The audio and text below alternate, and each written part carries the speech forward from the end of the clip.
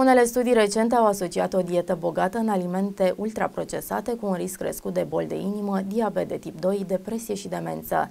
În timp ce discuțiile se concentrează adesea pe impactul negativ al acestor alimente, pot exista unele excepții care merită explorate. Nu există definiții standardizate pentru alimentele procesate și cele ultraprocesate. Potrivit Departamentului pentru Agricultură al Americii, alimentele procesate sunt orice alimente modificate față de forma lor naturală, prin metode precum tocarea, încălzirea, congelarea, pasteurizarea și stoarcerea sucurilor. Potrivit sistemului de calificare NOVA, alimentele procesate implică adăugarea de sare, ulei, zahăr sau alte substanțe pentru a conserva și a face alimentele mai apetisante. În schimb, alimentele ultraprocesate sunt ambalate ca opțiuni gata de consum sau de încălzire și conțin de obicei mai multe ingrediente fabricate, cum ar fi aditivi, conservanți, stabilizatori, potențial de aromă, agenții de încărcare. În această categorie intră iaurturile, aromatizate, sucurile, gustările ambalate, sucurile carbogazoase, carnea procesată, tăieții instant. De aici se naște și întrebarea dacă aceste alimente ultraprocesate sunt bune sau rele pentru sănătate. Alimentele integrale, cum ar fi fructele, legumele, cerealele integrale și leguminoasele, rămân o modalitate excelentă de a satisface nevoile nutritive, însă opțiunile ultraprocesate pot ajuta la diversificarea dietei și la umbrele lacunelor nutriționale. Când vine vorba de alimente ultraprocesate, procesate, precum sucurile, prăjiturile și chipsurile, care sunt mai bogate în zahăr adăugat, sare și grăsimi naturale, un medic recomandă să nu facem din ele un obicei zilnic, relatează adevărul.ro.